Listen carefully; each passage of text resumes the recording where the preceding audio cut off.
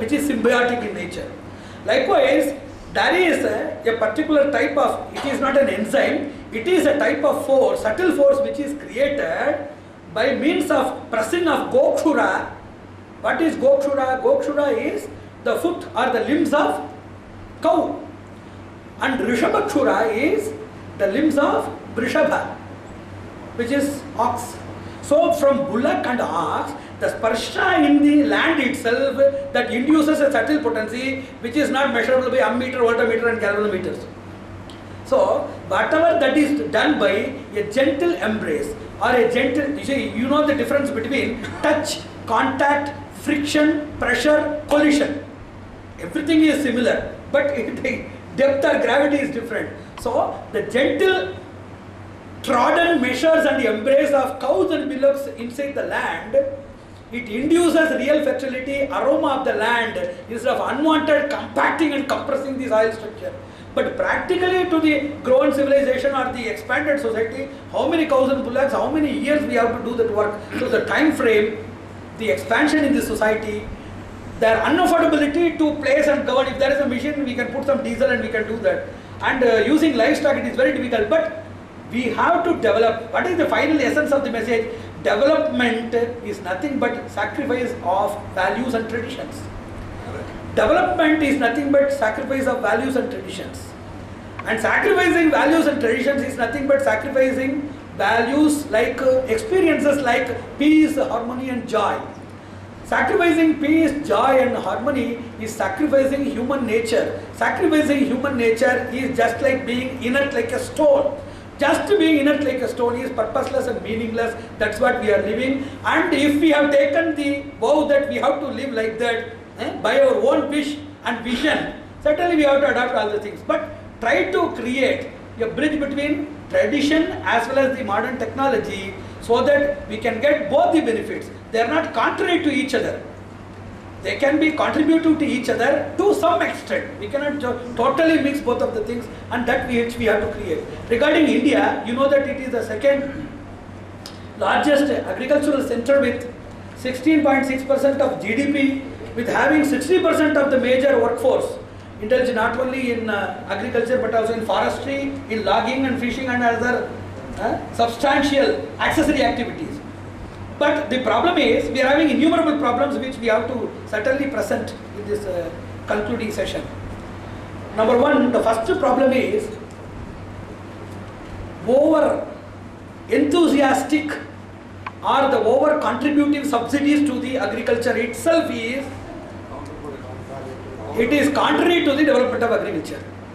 One is the subsidy, second is the over regulation, third thing is cost prices rising, fourth thing is environmental risks, fifth thing is the social disharmony and uh, disorder, sixth thing is lack of reforms in land, financial principle and other policies.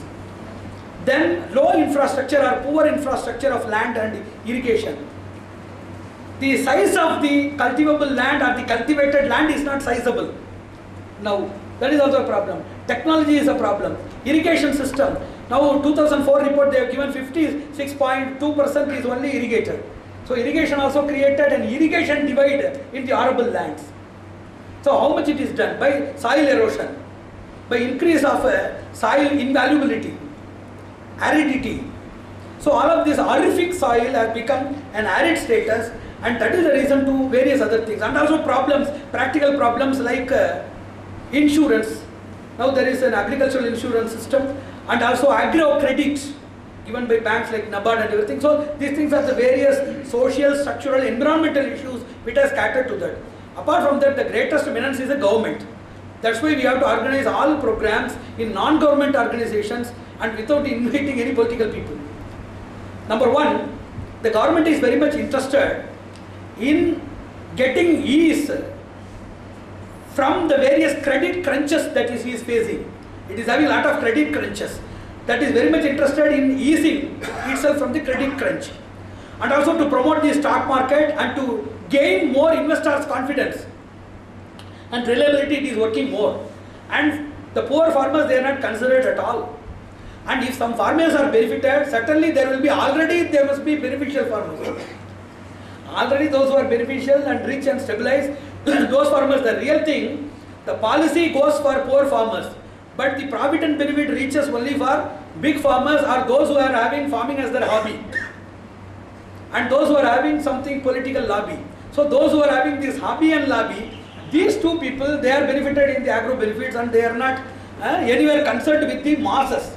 It is a real thing that happens in the society. Even at the time of uh, the international price hike of all the crops, there was an agrarian crisis here.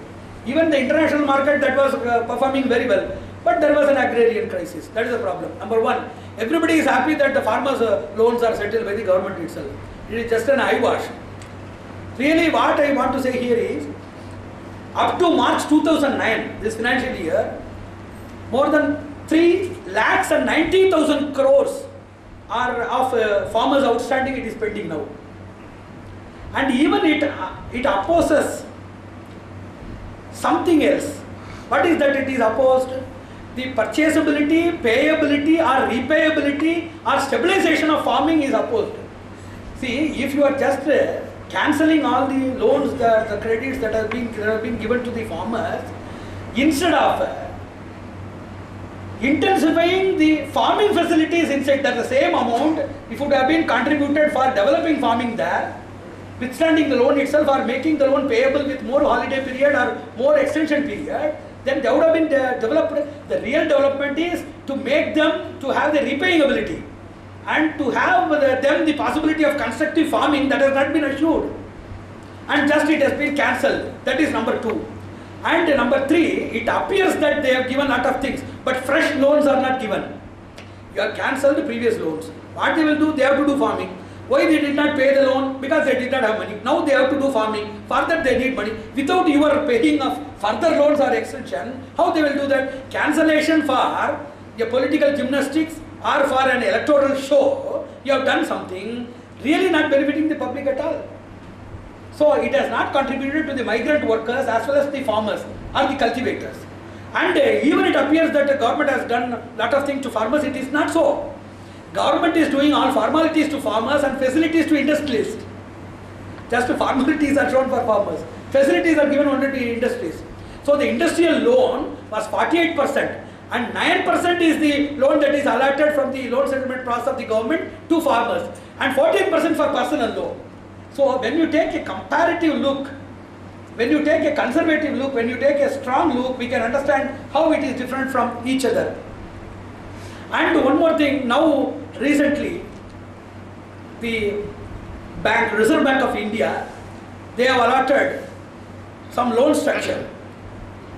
300, 3, 3 lakhs 20,000 crores was allotted, out of which 2 lakh 75,000 crores was allotted to non-food sectors.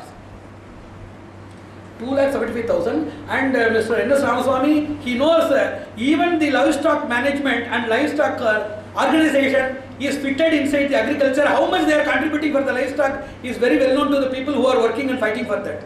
Likewise, even agriculture, they are fighting for livestock which is inside the agriculture. Even in agriculture there is a battle. So, more for non-food sectors it is given. And one more thing, the stipulation and duties that were there on rice, that has not been lifted. But for iron ore they are lifted.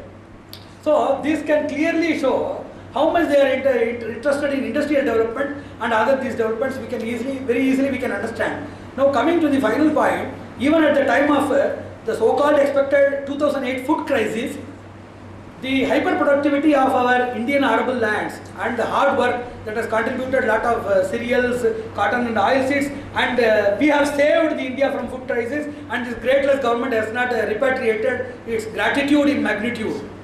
That is the problem with that. And all of these rural projects I have given in many lectures, all of the rural projects are not for benefiting the rural people.